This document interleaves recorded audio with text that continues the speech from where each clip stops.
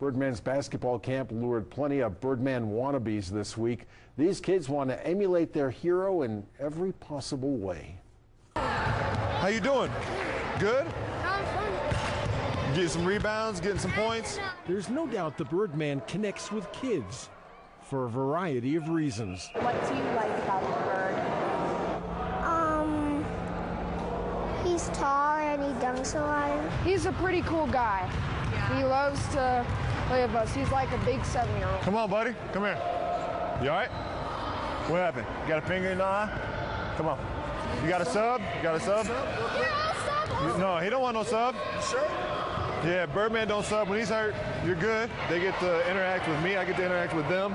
Uh, the parents love it. What goes through your mind when you see little kids dressed like the Birdman? Little Yeah, I know. Birdman. Yesterday, you know, a couple of them had like those little temporary tattoos, but now ev- everybody basically has all those tattoos now. Did you get to talk to the Birdman?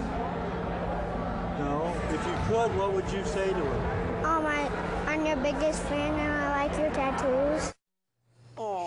Does has all his tattoos, as a matter of fact. You know, the dews caught on. I think those undershirts are going to catch on. Pretty too. cool. Oh, yeah. Birdman, Taffy's got to go. Birdman will make a fortune on him. Thanks, Gary. We'll be right back.